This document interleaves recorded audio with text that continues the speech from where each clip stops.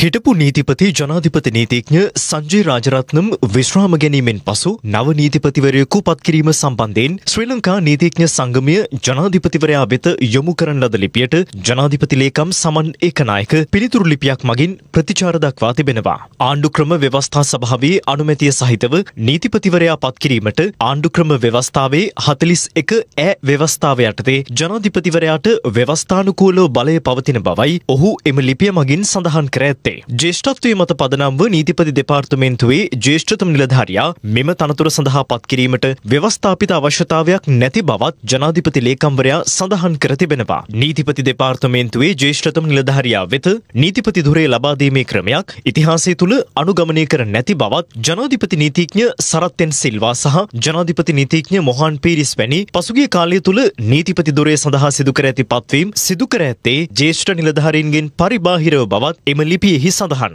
හිටපු ජනාධිපති මෛත්‍රීපාල සිරිසේන නීතිපති දුරේ සඳහා කිහිප දෙනෙකුගේ නම් නිර්දේශ කළ බවත් එහිදී ආණ්ඩුක්‍රම ව්‍යවස්ථා සභාව විසින් ජනාධිපති නීතිඥ ජයන්ත ජයසූරිය නීතිපතිවරයා ලෙස පත් කිරීම අනුමත කිරීමද උදාහරණයක් ලෙස දක්වන බවයි ජනාධිපති ලේකම්වරයා සේ ලිපිය මගින් පෙන්වා දී ඇත්තේ. මෙම පිළිතුරු ලිපිය මගින් ජනාධිපති ලේකම්වරයා වැඩිදුරටත් සඳහන් කර සිටින්නේ නීතිපති දුරේ සඳහා වෙනත් සුදුසුකම්ලාබීන් සිටියදී එක් පුද්ගලයෙකු වෙනුවෙන් පමණක් ශ්‍රී ලංකා නීතිඥ සංගමය පෙනී සිටිය යුතු නැති බවයි.